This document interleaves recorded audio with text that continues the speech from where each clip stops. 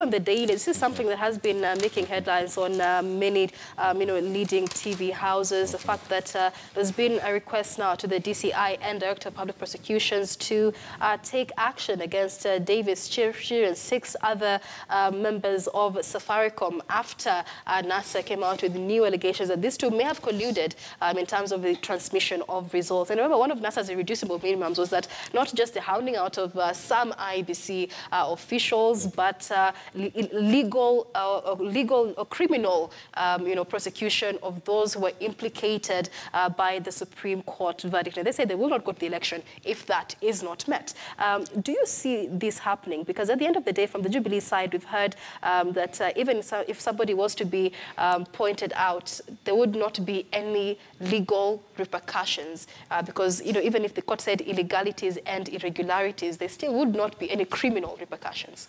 Uh, in the words of the Supreme Court, uh, IEBC faced uh, fundamental challenges, especially to do with ICT infrastructure, how they collate, how they transmit those results in their systems.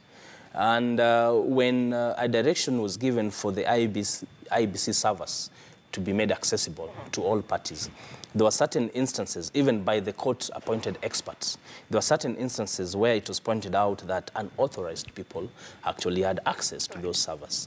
And uh, being that uh, uh, the, the, DPP is the institution mandated, uh, mandated in law mm -hmm. to carry out prosecutions, we saw that there's a letter that certain officials of the of uh, telecommunications company uh, certain IEBC officials themselves are subject of investigations. Well, it may not be instant coffee. It's a process. They will need, the director of criminal investigations will need to investigate first, mm -hmm. come up with a case file, come up with the evidence, and forward it to the DPP.